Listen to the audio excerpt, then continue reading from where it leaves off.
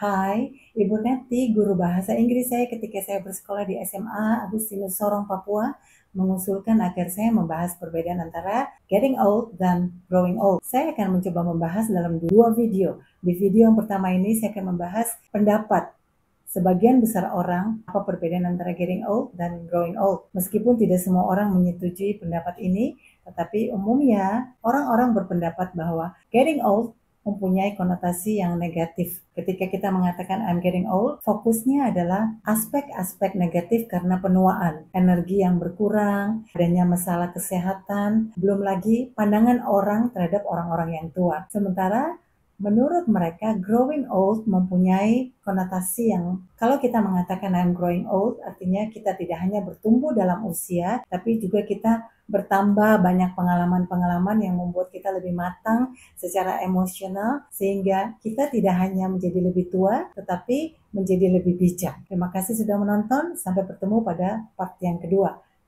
Bye.